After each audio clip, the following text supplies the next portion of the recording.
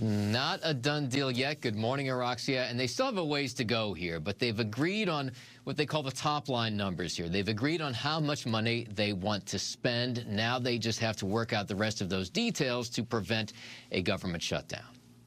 I'm confident that we'll get the job done and be able to, to demonstrate that we can govern well. House Speaker Mike Johnson sounded confident enough when this interview aired yesterday morning.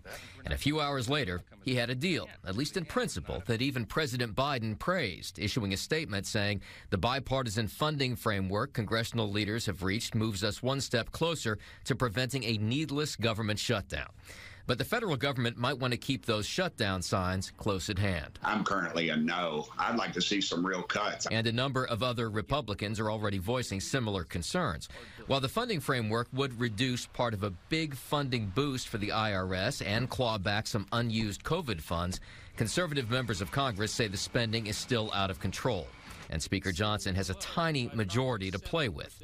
And even if this deal goes through, left unresolved is funding for Israel and Ukraine and efforts to crack down on the unprecedented number of illegal immigrants streaming across the southern border. And a number of Republicans actually don't want a border deal because they would have rather have the issue at election time than work with us to solve it. We don't want to empower more of this. the White House, the administration, Secretary Mayorkas have put a welcome mat out.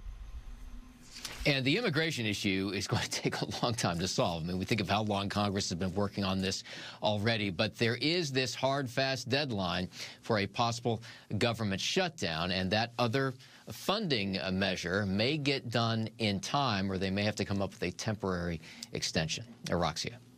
All right, Doug, thank you.